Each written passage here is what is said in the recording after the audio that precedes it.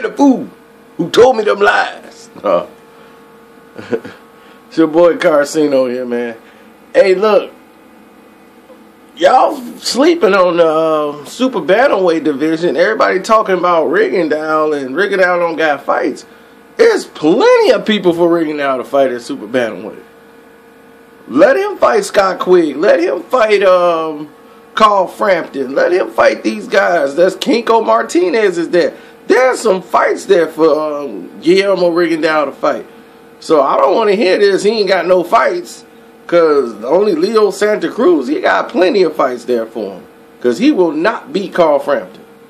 Let's get that straight right now. How how much? What you want to bet? Get get your money ready. Carl Frampton stops that boy. Told y'all, stop playing with me. Carl Frampton Rigondeaux Carl Frampton will stop Rigondeaux. I ain't say win the fight. I said stop him.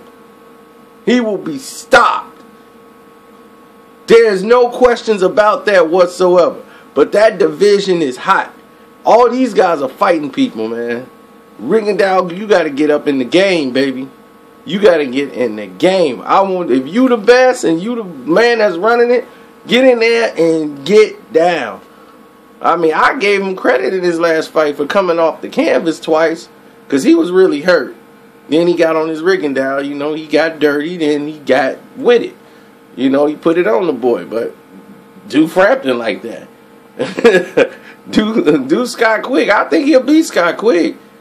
But I don't know about Frampton. So I think Frampton will clean his clock because Frampton got too much speed and too much power for Rigondeaux.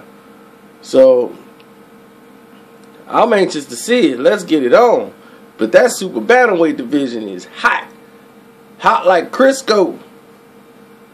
Let's get it cracking. Get it popping.